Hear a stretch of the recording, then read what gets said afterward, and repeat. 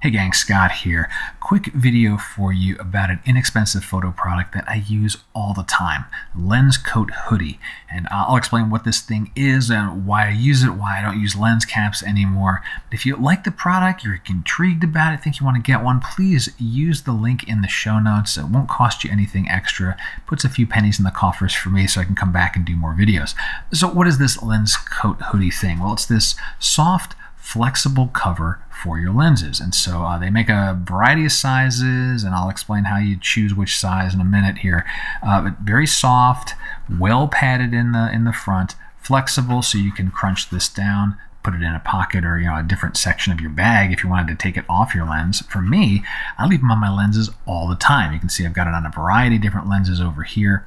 And what really drew me to this product is my filter system. So I'm a landscape guy. I'm out there shooting with filters 90, 95% of the time. And so I have these adapter rings, right? So you have an adapter ring for filter systems. This is on my lens all the time.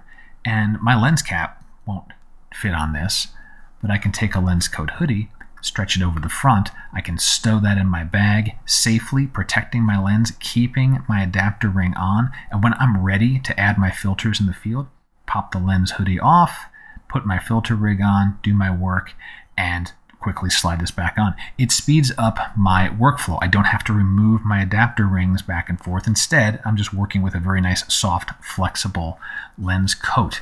And I can just tuck this into my pocket when I'm not using it. I, I don't drop them like I used to uh, drop my lens caps. I don't know, maybe I just have fumble fingers, but these, you know, I can grab the side, I can tuck it into a pocket. They work great. So how do you decide which size to get for your lens?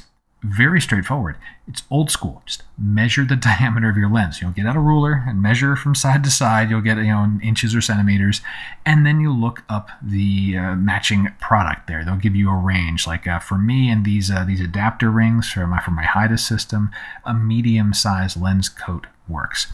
They've got you know extra small all the way up through very large. You can see on my big large lens there got a lens coat hoodie on there.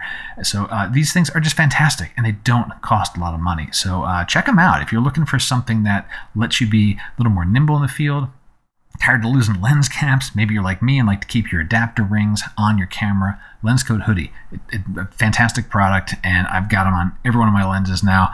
And I've got a box of lens caps at this point that just sit in the desk drawer because I'm not putting them back on my lenses anymore. Well, I hope you found the video useful. Any other questions, go ahead and drop them below. And until next time, my name's Scott Davenport. Have fun.